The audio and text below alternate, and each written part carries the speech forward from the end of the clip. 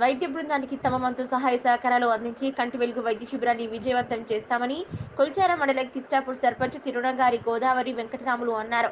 కొల్చార మండలం కిస్టాపూర్ గ్రామంలోని గ్రామ పంచాయతీ కార్యాలయంలో రెండవ విడత ఉచిత కంటి వెలుగు వైద్య శిబిరాన్ని సర్పంచ్ గోదావరి వెంకటరాములు లాంఛనంగా ప్రారంభించారు. ఈ సందర్భంగా గోదావరి వైద్య శిబిరంలో కంటి పరీక్షలు చేయించుకున్నారు. అనంతరం గోదావరి మాట్లాడుతూ ప్రభుత్వం ప్రతిష్టాత్మకంగా నిర్వహిస్తున్న కంటి వెలుగు వైద్య శిబిరాన్ని గ్రామ ప్రజలు సద్వినియోగం చేసుకోవాలన్నారు. సంపూర్ణ సహకారాలు అందించి వైద్య శిబిరాన్ని విజయవంతం చేస్తామన్నారు. నయా పైసా ఖర్చు లేకుండా ప్రభుత్వం అందిస్తున్న ఈ సదవకాశాన్ని గ్రామస్తులందరూ సద్వినియోగం చేసుకోవాలని సూచించారు.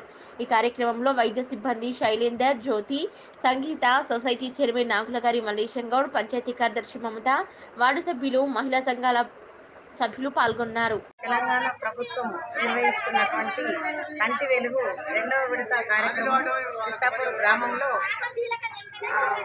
ప్రారంభం చేయడం జరిగింది.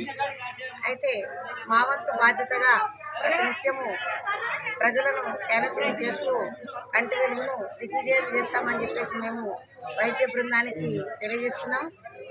వారు వారి యొక్క కృషిని మేము గుర్తిస్తాం తప్పకుండా. వారికి మా గ్రామం తరఫున ప్రత్యేకంగా ధన్యవాదాలు తెలియజేస్తున్నాం.